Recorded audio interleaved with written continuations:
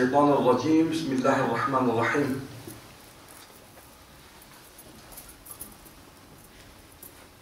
الحمد لله الذي توجنا بتاج الإيمان. والصلاة والسلام على من دعانا إلى الإيمان. وعلى آله وصحبه أهل الصدق والأمان. رب اشرح لي صدري ويسر لي أمري واحلل عقدة من لساني يفقه قولي رب زدني علما وفهما وألحقني بالصالحين وجماعة الحاضرين والسامعين والمشاهدين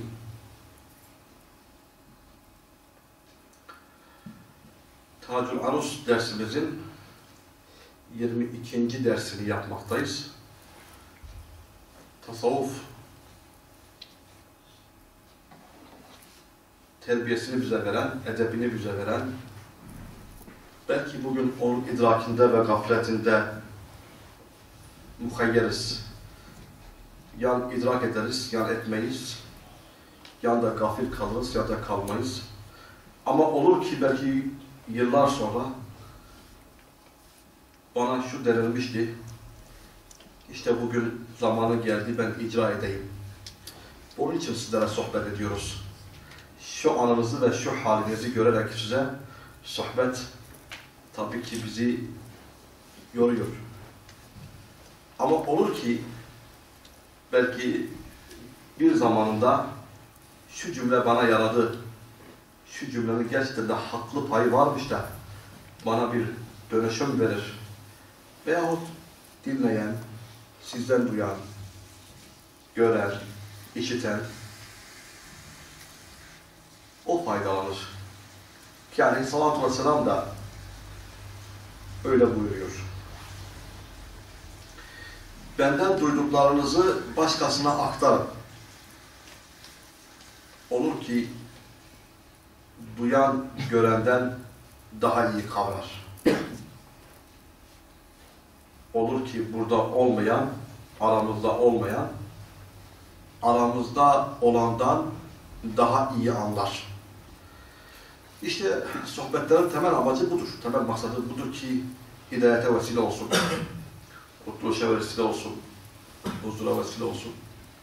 Özellikle tasavvuf tezkiye nefis ve tezkiye ruh gerektiren, kalbi paklandıran, güzelleştirendir. İbn-i Ataullah İskenderi rahmetullahi aleyh şöyle buyuruyorlar. Men qarabe firara umrihi ve yuridu en yestedrike ma fatahu فليذكر بالأذكار الجامعة فإنه إذا فعل ذلك صار العمر القصير طويلا Şimdi olur ya, gaflet dolu bir ömür geçti. Sıkıntı dolu bir ömür geçti. Farkında olmayan, yaşamadığı bir ömür geçti. Yıllar üst, üst üste yıkıldı ve yığıldı. Hani bir imtihan yaklaştığında bir imtihan yaklaştığında günleri tam yaklaşmış durumdayken biraz insan panikler. Kimdir o panikleyen? Çabasında, çalışmasında eksik olan. Acaba netice nasıl olur? Acaba başarır mıyım? Ve hayatını bir korku ve panik tutar. Ölüme yaklaşmış, kabre yaklaşmış bir ömür de o anda Allah'ı idrak ederse, aklına gelirse panikler. Ölürsem birçok eksiğim var. Namazdan eksiğim var, oruçtan eksiğim var. ibadetlerle beraber insanların hakları var. Hayvanların hakları var. Komşu hakları var. Bütün bunları arasında ya Rabbi ben ne yaparım? Bir panik tutar. Bunların hesabını nasıl veririm? Bu panikten, bu korkudan gafil bir insan zaten çok farklı bir insan. Allah onun kalbini uyandırsın inşallah. Allah bizim kalbimize uyandırsın. İşte İbn Abdallah İskenderi buyuruyorlar ki her kim ki yılları geçmiş, ömrü geçmiş ve fark etti ki ömründe de hiçbir güzelliği yok, bir iyiliği yok. Hemen eskara başlasın. Zikir çeksin. Kalbini o ibadetleri geri getirecek, o ibadetlerin ecrinden haberdar edecek eskarlarla meşgul olsun. Peki tasavvufun görevi nedir? Eskarı haber vermektir. Zikri haber vermektir. Evradı haber vermektir. Ömürden haber almayı ve haber haberdar olmayı bildirmektir. Tasavvuf budur. Ömürden haberdar edendir. Ömür geçmiş, gafletle geçmiş, günahla geçmiş, haramla geçmiş, gençliğini geçirmiş sizin gibi. Çocukluk, gençlik hevesleri, arzuları bastırmış, geleceğinin önünü kapatmış.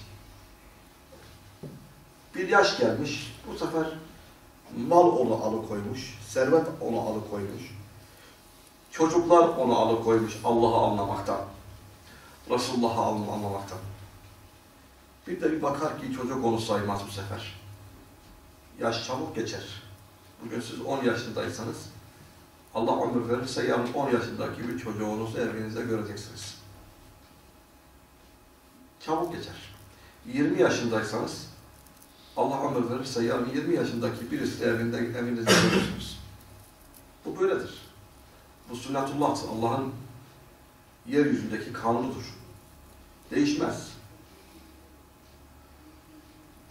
La tebdile li. Allah'ın sünnetine, Allah'ın koyduğu kanuna tebdil yoktur. Yani doğmuşsa bir çocuk büyüme oranı kendisine göre kendisine bahşedilmiştir. Ve yaşına göre de kendine tat verilmiştir, lezzet verilmiştir. Bazen derim,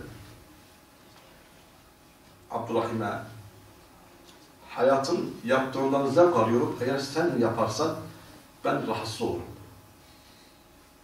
Aynı hayatın yapmış olduğundan zevk arıyorum. Ama eğer sen yaparsan rahatsız olurum. Kabul etmem. Hayatın iki yaşındaki çocukluk devresindeki yapmış olduğu zevk vericidir. Akla muhalif dahi olsa, o andaki adaba, ahlaka muhalif dahi olsa, onun çocukluk devresi onu ne yapıyor? Sevdiriyor. Ama 20 yaşındaki bir genç, 40 yaşındaki bir insan, hayır. İşte Allah Teala bir şekilde bir sünnet koymuş, bir kanun koymuş. O kanun kendi nispetinde, kendi zamanında güzeldir. Çocukluk devresinde güzeldir, gençlik devresinde güzeldir, orta yaşlılıkta güzeldir, yaşlılıkta güzeldir. Her oran kendisiyle orantılı gittiği zaman, kendi e, yaşına orantılı hareket ettiği zaman zevk veriyor, tat veriyor, güzellik oluyor. İşte olur ki ya, bir insan bütün bunların içinde gafletten, bulu çağından tut, belli bir yaşına kadar, 50 yaşına kadar, 60 yaşına kadar, 40 yaşına kadar gafletle götürdü. Önden bakarak götürdü. Önden bakarak. Ne demek önden bakarak? Renkle insanları değerlendirerek. Basiretle değil. Akılla değil. Renkle. Gözünün iliştiği renk neyse o renge bakarak ya tebessüm etti, ya güldü, ya geçiştirdi, ya alaya aldı, ya hafife aldı ama basiretle bakarsa öyle olmaz. Basiretle bakarsa o zaman ferasetini kullanır ki o zaman zevk alır, kendisinin değerini bilir. Neyinin değerini bilir? Çocuk olduğunun değerini bilir. Genç olduğunun değerini bilir. Yaşlı olduğunun değerini bilir. Mal, mülk sahibi olduğunun değerini bilir. çoluk çocuk sahibi olduğunu değerli bilir. İşte burada bir fırsat Allah Teala bizlere veriyor. İbn-i Attaullah İskender rahmetullahi aleyh eğer bir ömür bütün bunlardan gaflette geçmişse yine yese kapılmasın, umutsuzluğa kapılmasın. Allah Teala'nın kapısı açıktır. Rahmet kapısıyla onu yargılar. Rahmet kapısıyla ona söyler. Rahmet kapısıyla onu içeri alır ve o Allah'a ansın, Allah'ı zikretsin, evratlarla, eskarlarla Allah'ın nimetlerini hatırlasın ve kendisini zikirle, evratla meşgul etsin ki Allah Teala onu iadesini yapsın. Yani o gençliğinde kaybettiğinin, o orta yaşında kaybettiğinin ibadet değerlerini, ibadet manasını tekrar kendisine iade etsin. Ne gibi? Ke kavlihi Subhanallahul azim ve bihamdihi adede halqihi ve ve zinete arşihi ve midade kelimatihi aleyhissalatu vesselamın daimi bir şekilde bunu dile getirdiği eskarlardan ve evlatlardandır. Sürekli bunu söyleyebilme ve bu noktada kendisini ne yapması? Alıştırması. Ki Tarik bin Nakşebendi'nin Kaddesallahu Esrarahun Aliye'nin adabından eskarlar vardır, evraklar vardır. Ki zikrü lisan, zikrü kalp ve hem lisan eskarı ve hem kalp eskarı olmak üzere bizler daima üstadlarımız tarafından ne yapıyoruz? Terbiye ediliyoruz. Eğer bizler onları yapmazsak bu eskar ve evlatların bize vermiş olduğu mana işte budur. Zikrü lisan ki biliyorsunuz bizler bununla memuruz. Günlük bunu yapmak zorundayız. Günlük bunu yapmak zorundayız. zorundayız. Yüz sefer ne yapıyorduk? Yüz sefer Kulvallahu ahad okuyorduk. Okuyor muyuz? Okumak zorundayız. Peki okumayan kendisini kandırır. Kendisini kandırır. Yüz sefer ne okuyacaktık? Günlük Kulvallahu ahad, Allahu samet okuyacaktık. İkincisi salavat. Allahümme salli ala seyyidina nebiyyina Muhammedin ve ala ali seyyidina nebiyyina Muhammed. Yüz sefer salavat-ı şerife getirecektik. Getirmek zorundayız. Çünkü bu adabımızın gerektirdiğidir. Salat-ı kiramı bize emrettiğidir. Demek ki birincisi kuluvallah, ikincisi salavat-ı şerife, üçüncüsü Subhanallahi velhamdülillahi ve la ilahe illallah vallah ve ekber. Biz bunu çekiyor muyuz? Çekmek zorundayız. Yüz sefer de bunu çekmek zorundayız. Üçüncüsü La ilahe illallah vahdehu la şerike leh lehul mulku ve lehul hamdu ala kulli şeyin kadir. Bir diğer okuyuş şekli yuhyi ve yumit biyedihil hayr ve hu ala kulli şeyin kadir. Demek ki biz bunu yapmak zorundayız. Son olarak günlük hayatımızda zorunlu olduğumuz hatalarımızdan, günahlarımızdan, yaptıklarımızdan pişmanlık duymamız gerektiren, tevbeyi gerektiren Resulullah Aleyhisselatü Vesselam'ın da günlük en azından 100 sefer çekiyorum, 70 sefer çekiyorum dediği hadise istinaden estağfirullah. 100 sefer de estağfirullah çekeceğiz. Bu işte eskar ve evrat demek ki günlük hayatımızdaki kayıplarımızın yerini doldurandır. Gece namazını geçirmişiz. Duha namazını mı geçirmişiz? Kuşluk namazını mı geçirmişiz? İşrak namazını mı geçirmişiz? Evvabin namazını mı geçirmişiz? Bunları kılmayla, bunları söylemeyle, bunları yerine getirmeyle inşallah onları idrak edercesine bir ecre sahip oluyoruz. Yeter ki samimi olan, yeter ki ihlaslı olan, yeter ki samimiyette ve ihlasta kusur etmeyelim. Onun için salat-ı kiram bunları söylerken öyle bir e, adet olsun diye değil. Bir de hani şifreli çantaları bilirsiniz. Bir insan şifreli çantasını neye ayarlarsa onunla açar. 1, 2, 3 diye ayarlamışsa o 123 denilen rakam yani 1, 2, 3 rakam olmaksızın 1, 2, 4 olsa açılmaz, 1, 3, 4 olsa açılmaz, 2, 3, 4 olsa açılmaz, açılmaz. Onlar da rakam, onlar da sayı ama açılmaz. Şimdi biz namaz tesbihatlarında 33 değil mi diyoruz? 33, 33, 33. Bu 33'lerin çekilmesi noktasında ne yapacağız? Dikkat edeceğiz. Peki 34 ya olacak? 50 çekeyim olmaz. 33 çekeceğiz. Onun şifresi o. Onun şifresi o. Salat-ı kiram da bizlere bütün eskarların içerisinde eskar lisanı olan bu beşi vermiştir. Bu beşin de her birisinin yüz sefer çekmemizi söylemiştir. Onu öyle yapacağız. Ya diğer eskarlar, tam diğer eskarları yapabilirsin ama bunu bu şekilde yapmak zorundasın. Adama uyacaksın. Salat-ı kiramın dediğini yapmayan, kendisince kurallar koyan ne yapar? Bozgunculuk yapar. Onun için sen bir terbiye edici elde terbiye ediliyorsun. O sana dozajını veriyor. O sana ne şekilde yuvalanman gerekir, ne şekilde şekillenmen gerekir, yolunu ve yöntemini ortaya koyuyor. Sen onu yapmak zorundasın. Hayır ben daha iyi hadislerde şu şu efendim eskalları biliyorum, evlatları biliyorum. Ee, falan falan e, tarikatlarda da efendim şu şu eskal ve evlatları bilirim. Ne fark var dediğin zaman doğrudur. Eskallar arasında hiçbir fark yoktur. Hepsine Allah'ın izniyle ecri vardır. Ama seni terbiye edene karşı fark vardır. Sen kendini terbiye eden insana karşı, şahsa karşı, zata karşı yani mustakil hareket ediyorsun. İpi koparıyorsun. Ve kendini kendini ortada bırakıyorsun. Ortada olan biri kendisince belki çok başarılı görünür ama çok kaybı vardır. Onun için salat-ı kiramın Allah dostlarının sözlerine ne yapacağız? Dikkat edeceğiz. Bize vermiş olduğu edep ve terbiye noktasında eskar ve avradımızı çekeceğiz. Ben şunu diyorum,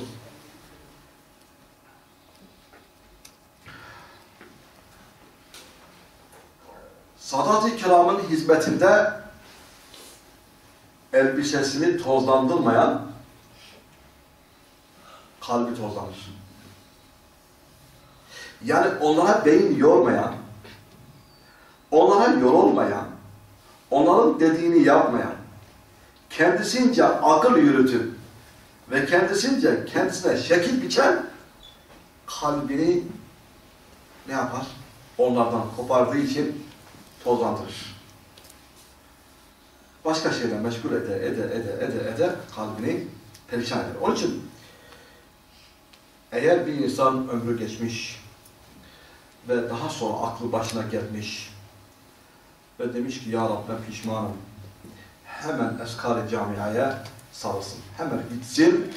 Allah dostlarının birinin yanına dizini çöksün, elini öpsün ve ona vermiş olduğu eskarlarla hayatını devam ettirsin ki Allah Teala da ona yardımcı olsun. evet ve kezaliken yani bu şekildedir. Men fâdehu kessetu siyamu ve qiyam en yeşfere nefsehu bis salati ala Resulillahi sallallahu aleyhi ve sellem. Tabii ki hayatında gece namazlar olsun, nafile oruçlar olsun, bütün bunları yapması noktasında gaflet içinde olmuş. Bu gafletini giderecek ilaç var mı? O geçirmiş olduğu zamanın, ömrün nimetinden mahrum kalırken, ibadetinden mahrum kalırken buna ilaç var mı? Var. Nedir? Aleyhissalatu vesselamın üzerine salavat getirmek. Sürekli onun üzerine salavat getirmek. Aleyhissalatu vesselamın üzerine salavat getirmek salat-ı kiramın deebindendir, ahlakındandır. Onlar sürekli dillerini iki şeyle evet tatlandırmışlar. Biri kelime-i tevhidullah la ilahe illallah. İkincisi salavat-ı şerifeyle. Eskar Nakşibend tarikatının debinden, adabından sırrı olmasıdır. Gizli olmasıdır. Aşikar değil. açıktan değil. Gizli bir mahiyette kalbi taallukla onu ne yapmasıdır? Ha La ilahe illallah ha salavat-ı şerife bunu kendi halinde ve kendi ruh yapısıyla kendi manevi dairesinde Allah'a teslim bir şekilde çekmesidir ki bütün vücudu tazeliyor. Beyni tazeliyor. Kalbi tazeliyor. Ki salavat ayettir de. Değil mi? Ayet-i kerimede emirdir. Emirle memur olduğumuz bir eskardır salavat-ı şerife. İnne Allah ve melaiketehu yusallun alen nebi. Ya eyyühellezine amenu sallu aleyhi ve sellimu teslima. Muhakkak ki Allah ve melekleri Nebi olan Hz. Muhammed Mustafa Aleyhisselatü Vesselam'a salavat getirirler. Ona istihbar dilerler. Onu yüceltirler. Ey iman edenler! Sizler de onun üzerine salat ve selam getiriniz. Memur. Emirdir. Mecbur.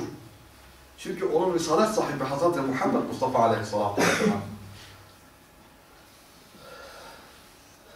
Allah katındaki derecesi o kadar yüksek ki kendisi ve melekleri onun üzerine salavat getirir ve iman edenlere de şart koşmuşlar. Ya eyyühellezine amenu Ey iman edenler. Sallu aleyhi. Onun üzerine salavat getiririz. Demek ki biz ne yapacağız? Bir ömür geçmiş ve o ömürde gaflet içerisinde geçmişse ve o ömürde prim yapmamız gereken ibadetler var iken uykuya vermişiz, gece namazını kılmamışız. Yemeğe vermişiz, oruç tutmamışız. Kuşluk namazını kılmamışız, evvabin namazını kılmamışız, ısrak namazını kılmamışız. Bu tür primlerden mahrum kalmışız. Ama bir gün geldi ki yaş 50-60 oldu, aklımız başımıza geldi. Dedi ki ya geçti bu günlerim, bir daha geri gelmez. Ben bir daha 50'ye dönemem, ben bir daha 40'a dönemem. Ben bir daha 20'ye dönemem. Eğer samimi bir dönüş hasreti içerisindeysen ah sana diyor fırsat. Samimi bir dönüş, gerçekten samimi bir dönüş amaçlı bir hasret varsa sende al sana işte dönüş. Nedir o? Dilini ve kalbini salavat-ı şerifeyle ne yap? Meşgul et. Salavat çek. Ve çektikçe de o ibadetlerin ecrine sahip olursun. o geçmiş ibadetlerin ecrini ne yaparsın? Kazanırsın. فَاِنَّكَ لَوْ فَعَلْتَ ف۪ي جَمِيعِ عُمْرُكَ كُلُّ طَاعَةٍ ثُمَّ صَلَّ اللّٰهُ عَلَيْكَ صَلَاةً وَاحِدَةً Evet, رُجِّحَتْ تِلْكَ الصَّلَاةُ الْوَاحِدَةُ عَلَى كُلِّ مَا عَمَلْتَهُ فِي عُمْرِكَ كُلِّهِ مِنْ جَمِيعِ طَاعَاتٍ Garip bir müjde de var. Ne malum ki, ne malum ki diyor. Bütün ömür boyunca sen ömrünü ibadetle meşgul etsen, o güzel elde etmen gereken primle e, efendim meşgul etsen, bütün bu meşgale Allah Teala'nın sana bir seferlik o getirdiğin salavata karşı senin de üzerine olsun. Nasıl benim Habibim Hazreti Muhammed Mustafa Aleyhisselatü Vesselam'ın üzerine salat getiriyorsun, senin de üzerine salat olsun. Demesi kadar ne değildir? Değerli değildir. Ömrün boyunca yapacağın bütün ibadetler, bütün eskarlar, bütün yaptığın ameller, iyilikler, hasanatlar Allah Teala'nın yapmış olduğun bir salavat-ı şerifenin karşılığında ey kulum sen Habibim Hazreti Muhammed Mustafa Aleyhisselatü Vesselam'ı andın, kalbine getirdin, hatırladın ve ona salavat getirdin. Bunun karşılığı senin üzerine de salat olsun. Allah'ın mağfireti senin üzerine de olsun deme kadar ne değildir? Değerli değildir. Onun için yese kapılmayın. Ben amel etmedim, ben ibadet etmedim, ben geçirdim hayatımı gaflette deyip de kendinizi yemeyin, bitirmeyin, dönün. İlk tasavvufun en güzel bize gerçekten mana ve mefhumu itibariyle taşıdığı mana budur. Bizi yese, bizi o mutsuzluğa kaptırmaz. Çünkü eğer sen bütün hayatın boyunca yaptığın bir amel varsa bilmiş ol ki Allah'ın senin üzerine iade ettiği, icabe ettiği tek salavat kadar değerli değildir. Çünkü Allah'ın salavatı daha ağır basar, daha tercih edilir. لأنك تصلي على قدر وسعتك أو على قدر وسعك وهو يصلي على حسب ربوبيته garip bir çünkü sen Resulullah Aleyhisselatü Vesselam'ın üzerine getirdiği salavat kaç tane? Günlük yüz tane. Bin tane. Hayatın boyunca 70 bin tane, 100 bin tane, 200 bin tane. Seninki sınırlı. Senin Allah Resulü üzerine çektiğin salavatlar sayılı. Her sayılı olan şeyin de sınırı vardır. Ama Allah'ın rububiyetinin sınırı yoktur. Affının sınırı yoktur. O senin sayılı vermiş olduğu nimet karşısında o sayısız bir şekilde senin üzerine rahmetini ne yapar? Yağdırır ve seni affeder. Yeter ki bunu idrak mahiyetinde Allah'ı bil, Allah'ı idrak et, Allah'ı anla. Evet. هذا إذا كانت صلاة واحدة فكيف إذا صلى عليك عشرا بكل صلاة Çünkü hadis vardır. قال رسول الله صلى الله عليه وسلم من صلى علي vahideten sallallahu aleyhi aşran kim benim üzerime bir salavat-ı şerife getirirse Allah ona bire on endeksli salavat karşılığı verir. Yani sen bir getirirsen Allah senin üzerinden kaç tane yapar? On tane. On sefer senin üzerine olsun. Sen bir sefer Resulullah Aleyhisselatü Vesselam'a Allahümme salli ala seyyidina ve nebiyyina Muhammedin ve ala ala seyyidina ve nebiyyina Muhammedin dersin. İhlas ve samimiyetle Allah da bunun karşılığı olarak bunun on mislini sana iade ediyor. On misli. Peki bir tek sefer, bir tek sefer salavat getirmenin bütün ömrün boyuncaki ibadetten ve amellerden üstünse bire on endeksli Allah Teala her bir salavatımıza karşı karşılık verirse ne kadar karlıyız? Sonsuz derece karlıyız ve şanslıyız. Elhamdülillah. Hâzâ izâ kâne salâtan vahideten işte bu tek bir salavatın karşılığı izâ salli aleyke aşren bi kulli salatin peki her bire karşı on karşılık olarak on evet karşılık olarak vermesi nasıl değerlendirilir? Sonsuz bir rahmet olarak değerlendirilir. Sonsuz bir mağfiret olarak değerlendirilir gençler. Onun için bizler Aleyhissalatu vesselamın bu hadisi kema ca'e fi hadisi sahih bir önceki hadisi ifade ettiğimiz gibi men salla aleyye vahideten sallallahu aleyhi aşran kim benim üzerime bir salavat getirirse Allah Teala da onun üzerine on salavat getirir. Yani bile on karşılık verir. Ki sadaka da öyledir değil mi? Bile on endeks değil. Bile yüz endeks değil. Bile yedi yüz endeks değil. İşte Allah'a karşı yapacağımız bütün hepsinde bu kadar kârlıyız. Peki değerli kardeşlerim, değerli gençler, bizler bunu nerede elde ederiz? Bilmiş olunuz ki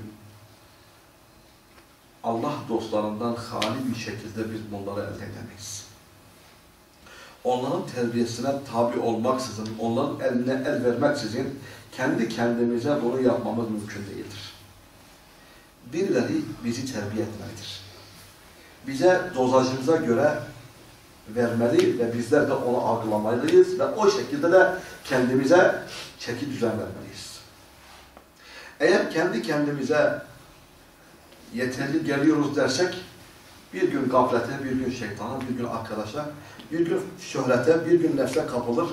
İşte bütün bu tehlikelerle karşı karşıya olan bizler bir günde yok olur gideriz. Onun için yok olmamak için, bu tehlikeleri aşmak için, bu tehlikeleri aşmak için bizim birinin elinden tutmamız gerekiyor. Ona teslim olmamız gerekiyor. Ondan karşılığı beklememiz gerekiyor ve onunla yol almamız gerekiyor. Yok eğer bizler yaparız dersek kendi kendimizi aldatırız. Nitekim, nitekim kendi kendisine aldatanlar çoktur. Nitekim kendi kendisine bu oyunlara, bu kapanlara düşenler çoktur. Kendi kendisiyle yetinen nice hoca efendiler, okuyanlar, bilenler, okuduğu halde, bildiği halde ama kendi kendisine yetindiği için ve bir eli basit görüp olmadığı için neticesinde çok ciddi tehlikelerle karşı karşıya oluyor. Neticesinde bir gün çok farklı bir tehlike onu kapmakta. Yani şöhret tehlikesi, yani nefis tehlikesi, yani şeytan tehlikesi, ya arkadaş tehlikesi, ya çevre tehlikesi onu alıp yutmakta.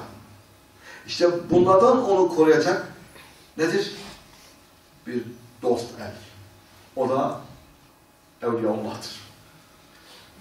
Onlar ki onlar da terbiye olarak gelmiş. Onlar ki onlar da Kur'an'ın terbiyesiyle, onlar ki onlar da Resulullah'ın terbiyesiyle, onlar ki onlar da Allah dostlarının terbiyesiyle, onlar ki onlar da bütün bu tehlikelerden kaçarak bu gibi yerlerde tezkiye olup nefislerini terbiye edip gelenlerdir. Onlar ki bütün dünya kendileri için sadece bir geçiştir. Bir geçiş. Hayatın o çocukluk devresinden ölümüne kadar o var olan devrede dünyayı anlayan ve bilen ama dünyayı yersiz kullanmayan, istihdam etmeyen, yersiz bilmeyen dünyanın ahiret için dünya nazaratul ahiret. Dünya ahiretin ziraat tarlasıdır. Bunun bilinci içerisinde dünyayı bilmişler. Bunun bilinci içerisinde servet sahibi olmuşlar. Bunun bilinci içerisinde dünyayla muamele etmişler. İşte bunun bilinci içerisinde olanlarla olduğumuz zaman biz kendimize dost oluruz. Kendimizi kurtarırız. Ama olmadığımız zaman ne oluruz? Zalim oluruz. Kime karşı zalim oluruz? Nefsimize karşı zalim oluruz. Önce kendimize karşı zalim oluruz. İnsan kendi kendisine zulmeder mi? Eder. İşte ayet-i kerimede يَوْمَ يَعَضُّ الظَّالِمُ عَلَى يَدَيْهِ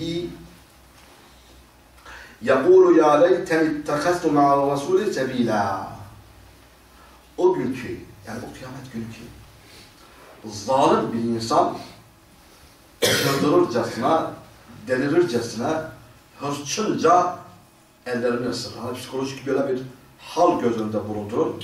Birisi artık öyle kendisini kaybetmiş ki, öyle bir pişmanlık duyuyor ki geçmişine, o kendisine verilen fırsatları kaybettiğine öyle bir sıkıntı duyuyor ki ve o sıkıntıdan, o zorluktan ne yapar? Çıldırırcasına, hırçınca kendi kendisini parçalıyor, kendi kendisini ısırıyor. Ve der ki, keşke ben Allah Resulü Aleyhisselatü Vesselam'la beraber yola girseydim. Ben onu arkadaş edinseydim. Ben ona tabi olsaydım. O bana bütün gerçekleri getirdi. O bana bütün hakikatları söyledi. O dünyada nasıl olmam ve nasıl yaşamam gerektiğini de anlattı. Ama ben onu dinlemedim. Nasıl da kaybettim. Hani akıllıydım ben. Hani biliyordum ben. Ama bütün bunlar geçmiş. Bir pişmanlık bastırmış. Ve o pişmanlık içerisinde bir çılgınlık, bir delirginlik ve bu hırçınlığın, bu psikolojik pişmanlığın vermiş olduğu kendisine aynı zamanda bir hasta, bir deli misali kendi kendisini parçalarcasına ne yapar? Pişmanlık duyar. Ve şunu der. Ya veyleta leyteni lem ettehiz fulanen halila. İşte burada. Vay benim halime. Vay o geçmişime. Keşke ben şu arkadaşı, şu adamı, şu kişiyi arkadaş edinmeseydim. Onun halkasına katılmasaydım. Hani içki içmişti, kumar oynamıştı, zina etmişti, yalan söylemişti, gıybet etmişti, kıskanmıştı, adam öldürmeye gitmişti. Benim de nefsime havama hoş geldi, ben de onunla arkadaşlık ettim. Halbuki bir diğer taraftan beni gıybetten, yalandan, hasetten, zinadan, içkiden, kumardan, efendim adam öldürmeden alıkoyan, beni Allah'la Resulullah'la barıştıran birisi vardı. Bana dünyada nasıl olmam gerektiğini öğreten bir ahlak vardı. Ama onu görmedim ben. Gittim, geldim, Şehvetimi, arzumu, isteğimi, aklımı önüme koydum. Onu delil edindim. Onu da bana gösterdiği o zalim bir insanla arkadaş oldum. Bak işte bugün beni ne hale getirdi. Bugün beni öyle bir hale getirdi ki kıyamet gününde kendimi parçalarcasına pişmanım ve niçin Resulullah Aleyhisselatü Vesselam'ı kendime örnek edinmedim?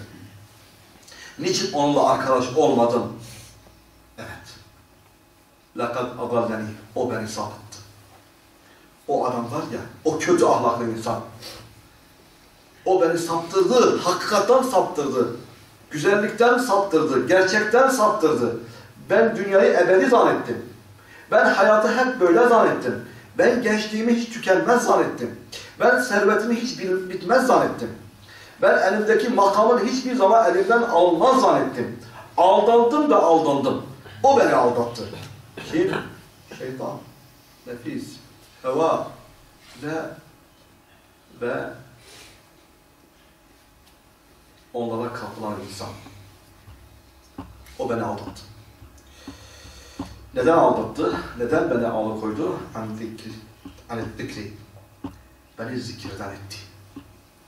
Beni Allah'ı hatırlamadan etti. Beni Resulullah Aleyhisselatü Vesselam'ı hatırlamadan etti. Beni Kur'an'dan etti. Zikir, Kur'an'ın ismidir. Zikir, Resulullah'ın ismidir aynı zamanda. Zikir, ibadetin ismidir. Zikir, güzel ahlakın ismidir. Bütün bunlardan beni alıkoydu. Ne zaman? Ben de iddiani. Bana gelmesine rağmen, bu hakikatler bana gelmesine rağmen birebir ben buna davet edildiğim halde birebir ben bunun içinde olmam gerektiği halde hayır dedim.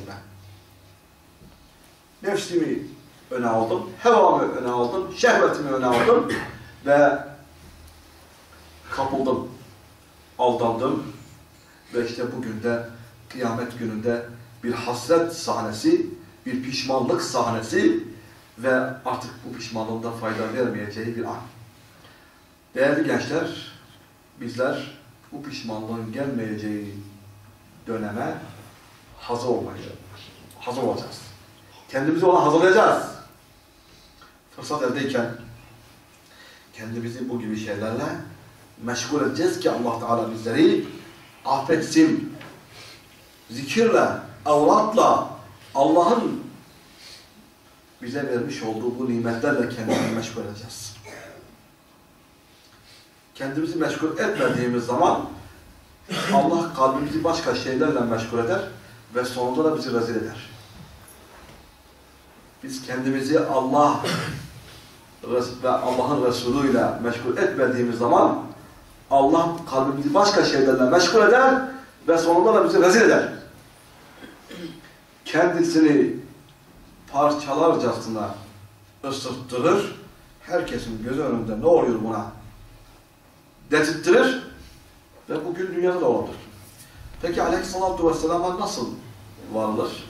El ulema ve resmen ya alimler, peygamberlerin varisleridir. Allah dostları onun varisleridir. Bugün kiminle arkadaşsak, kimin halkasındaysak, kimin dediğini yapıyorsak muhakkak onun, onu seviyoruzdur demektir. Onunla beraber olacağız demektir. Kimin dediğini yaparsak, kimi taklit edersek, kimi kendi hayatımıza örnek edinmişsek o da bizim için örnek. Kıyamet gününde de. Onunla beraber olacağız. Onun için çok dikkatli olacağız. Neye dikkatli olacağız? Kalbimize dikkatli olacağız. Kalbimizi iki sevgiyle meşgul etmemiz mümkün değildir. Kalplerini iki sevgiyle meşgul edenler daima aldanmışlar. Kalp bazen vücudidir, yani bulunduğu yere aittir. Bazen de gayri vücududur. Yani bulunduğu yere ait değildir. Ne demek? Yani olduğu yerde suri olarak vardır, şekil olarak vardır, manen yoktur. Böyle bir kalpte de fayda yok. Yani o kalp ki üstadının yanında soru varsa yani vücudi olarak varsa bu şeydir. Ama manevi yoktur. Başka yerlerde geziyor, başka sevgilerle meşguldür. Başka yerlerle meşguldür. Bu kendisini gösteriyor. Hatta rivayetlerde Allah dostları onu bir keşkül misali göğsünün üzerinde görürler veyahut ellerin içinde görürler. Ama karşı taraf bunu hissetmez. O zanneder ki kaburga var. Kaburganın üzerinde de cilt var. Kan var. Kim görür ki? Ama yok. Allah sarraful kulub olduğu gücünü ve nispetini kendi sevdiklerinde de tasarruf ettirir. Kendi sevdiklerinde de tasarruf ettirir. Peki kendi sevdiklerine tasarruf ettirdiği zaman o tasarruf sahibi, bak ben tasarruf sahibiyim, sen de bunları bunları biliyorum demeye mecbur mu? Mecbur değil. Neye? Uyarmaya. Uyarır. Neyle uyarır? Eskarla uyarır. Evlatla uyarır. Nasihatla uyarır. Gülerek uyarır. Tebessüm ederek uyarır. Kızarak uyarır. Darılarak uyarır. Bir şekil verir. Ama karşı taraf bu halden ve bu halin hallerinden bir hal çıkaramıyorsa sorun kendisindedir. Bir hal çıkaramıyorsa sorun kendisindedir. İşte sarraful kulub tasarruf sahibini kendisi tayin eder. Tayin eder ve bildirir. Ve yaptırır. Peki bu kalp neyle mutmain olur? Neyle güzelleşir? Bu vücudi kalp. Yani o önce sevgiyle. Hani Allah Resulü Aleyhisselatü Vesselam'a nasıl söylemişti? قُلْ اِنْ كُنْتُمْ تُحِبُّونَ اللّٰهَ فَاتَّبِعُونِي يُحْبِبْكُمُ اللّٰهِ وَيَغْفِرْ لَكُمْ ذُنُوبَكُمْ De ki ey Muhammed, eğer siz Allah'ı seviyorsanız bana tabi olunuz. O zaman Allah sizi sever. Yani kalp mahbubiyle vücut bulmadı mı Allah'a ittibada vücut bulmaz. Allah'ın sevgide vücut bulmaz. Önce kalp o severinde ittibai ispatlamalıdır. Nasıl ispatlar? Onu oraya koyar, yerleştirir. Onun sevgisinin üstünde hiçbir sevgiyi bulmaz. Ondaki gördüğü tadı başka yerde aramaz. Oradaki nazarı başka yerde bul aramaz. İşte böyle bir kalp nasıl elde edilir? Ela bi zikrillahi tatmainul kulub. Allah'ın zikri ancak kalpleri mutmain eder. Öyle bir kalp oluşturur. Allah'ın zikriyle meşgul olan bir kalp ancak sahibiyle mutmain olur. Dostuyla mutmain olur. Üstadıyla mutmain olur. Yol göstericisiyle mutmain olur. Çünkü o ona onu söylüyor. Onun dışında başka şey taşıma huzurunda der. Ve onun dışında başka bir şey sana faydası yok der. Ama o kalbi dağıtmışsa, o kalbi bölmüşse, iki sevgiye, üç sevgiye, on sevgiye, yirmi sevgiye ayırmışsa, sevgi kendi oranında orada söz sahibidir. Peki sevgi kendi oranında kalpte söz sahibi ise üstadın sevgisi o sevgilerin yanında durar mı? Durmaz. Çıkar. Çünkü üstad kendi sevgisinin ortağını ancak kendi emirlerine mumasil olduğu zaman kabul eder. Kendi değerlerine mumasil olduğu zaman kabul eder. Sen bir yerlerde kalbi meşgul ederken, onun içine haramları koyarken, orada üstadın yeri yok ki. Onun için orada Resulullah Aleyhisselatü Vesselam'ın yeri yok ki. Onun için orada Allah'ın da yeri olmaz. Böyle bir kalp tamire ihtiyaç vardır. Böyle bir kalp tamire ihtiyaç vardır. Tedaviye ihtiyaç vardır. Yani bu kalp hastadır. Bu kalbin tedavi olması gerekiyor. O kalbin tedavisi de eskarlarladır, evlatlarladır ve verilen eskarlar ve evlatlarladır. Verilen görevin yerine getirilmesidir.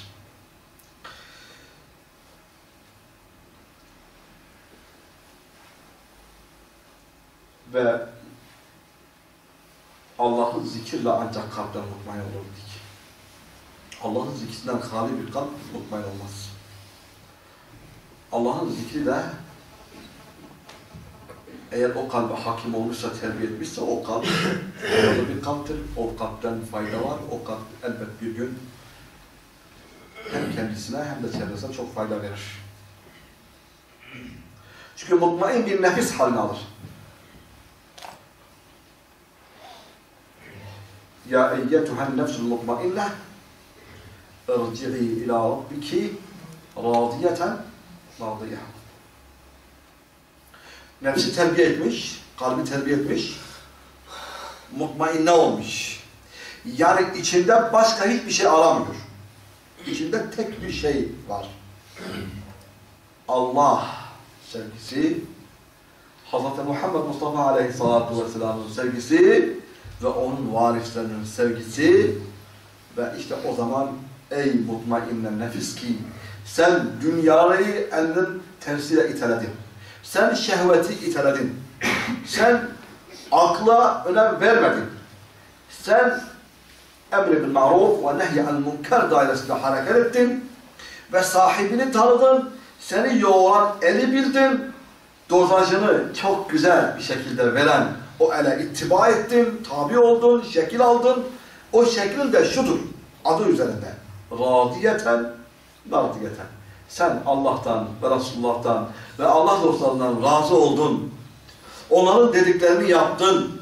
Onların emirlerinden çıkmadın. Onları basitsemedin.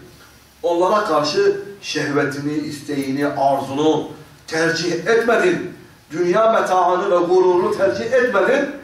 Allah seni hem o nimetlerden nimetlen, e, nimetlendirdi, faydalandırdı ve hem de aynı zamanda mardiye oldu. Allah senden razı oldu.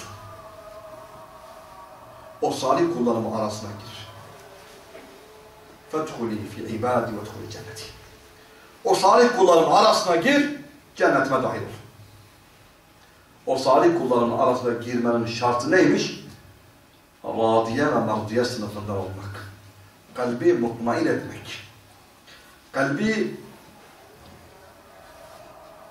Allah Resulü aleyhissalatu vesselam ve onun dostlarının sevgisiyle donatmak, kandırmamak.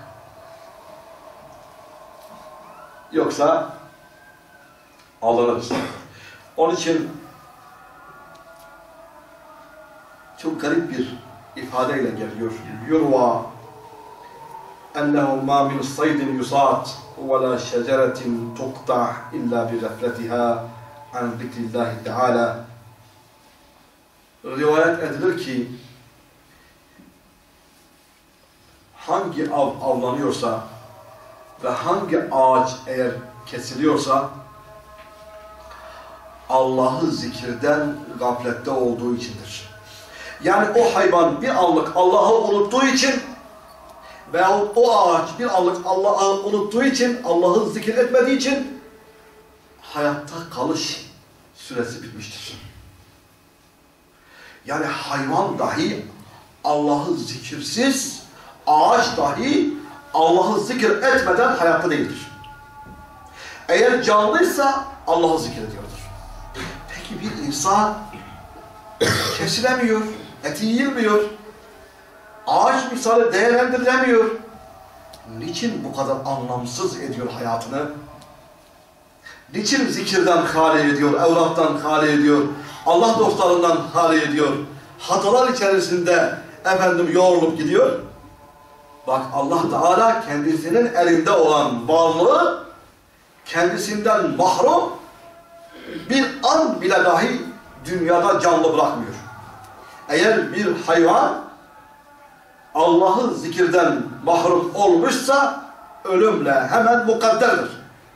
Eğer ağaç zikirden hali ise, zikirden uzaksa kesilmeye hemen evet mukadderdir ve o onlara uygulanır. Onun için bakınız bizler için de لِأَنَّ السَّارِقَ لَا يَسْرِقُ بَيْتًا çok güzel bir misal getiriyor. Çok mükemmel bir misal getiriyor. İbn Ataullah İskenderi rahmetullahi aleyh. لِأَنَّ السَّارِقَ لَا يَسْرِقُ بَيْتًا وَأَهْلُهُ اَيْقَاظٌ بَلْ عَلَى غَفْلَةٍ اَوْ نَوْمٍ Çünkü bilirsiniz ki sahibi kendi evinde bir sahibi uyanıkken oraya hırsız, hırsız gitmez. O eve sahipken, o evi kollarken hırsız oraya giremez. Evet, bu bedenin sahibi de eskardır, avrattır, Allah'ı zikretmektir. Allah'ı kalbimize taşımaktır. Çünkü bu evin sahibi Allah'tır. Allah'tan hali bir ev, sahibinden hali bir eve benzer. Boş bir eve benzer. Oraya nasıl hırsız girip onu çalabiliyorsa bu bedene de şeytan girer, nefis girer, heva girer, şehvet girer ve yıkar evimizi perişan eder. Allah Teala bu tür musibetlerden bizi muhafaza etsin inşallah. Teala. allah Teala bizi nefislerimize terk etmesin. Bizi şehvetimize terk etmesin. Bizi arzularımıza terk etmesin. Bizim yapacağımız bütün amellerimizde bize yardımcı olsun. Biz daima salat ve selamla onu Resulü Hazreti Muhammed Mustafa Aleyhisselatü Vesselam'a gidiyoruz. Salat getiriyoruz, selam getiriyoruz. De on endeksi onun rahmetinden bir katre dahi değildir. O bize esirgemeyeceğinden de eminiz. Yapacağımız bütün zelletlerde ona sığınıyoruz, eksiklerde ona sığınıyoruz. Günahlarda ona sığınıyoruz. Başka bir merceğimiz yok, başka bir sığınağımız yok. Başka elinde tutacağımız yok. Başka bizi kurtaracak yok. Biz biliyoruz ki o evimizin sahibidir. O kalbimizin sahibidir. O beynimizin sahibidir. Biz biliyoruz ki bir, hava, bir hayvan, bir ağaç, bir anlık onun gafletiyle nasıl yok oluyorsa bizler de kalbimiz onun gafletiyle yok olur, ölür, perişan olur ve ama şunu da çok iyi biliyoruz ki o hayvan, o ağaç kıyamette hesap vermeyecektir. Hesabını ödeyemeyeceği bir amelle mükelleftir. Ama biz hesabını vereceğimiz o günkü kendi kendimizi ısıracak bir ortam doğacak, pişmanlık doğacak, hasret doğacak ama o günün sahibi de yine O'dur. Onun rahmetine sığınıyor. Yaptığımızdan dolayı onu kendimize affedici biliyoruz ve onun Resulü Hz. Muhammed Mustafa Aleyhisselatü Vesselam'ın da şefaatinin ebedi, daimi ve her şeyi kapsadığını biliyoruz. Onun şefaatini diliyoruz ve onun dostları olan Allah dostları Aleyhisselatü Vesselam'ın varisleri yüce alimlerin de bizim üzerimizde daima gölge ettiklerini, bizim elimizden tuttuklarını, bizi bırakmadıklarını biliyoruz. Allah bizleri onlarsız bırakmasın. Rabbim hepimizi muvaffak etsin. Allahu Teala günümüzde cereyan eden bütün hadiselerde müminlere, Müslümanlara yardımcı olsun, yardımcı olsun. Birliği, beraberliği, kardeşliği tesis etsin. Ümmeti Muhammed'i bütün zorluklardan kurtarsın. Allah hepinizden razı olsun. أقول قولي هذا وأستغفر الله لي ولكم وأفوض أمري إلى الله إن الله بصير بالعباد وآخر دعوانا الحمد لله رب العالمين بروضة النبي صلى الله عليه وسلم ولروح صلاة من كرام الفاتحة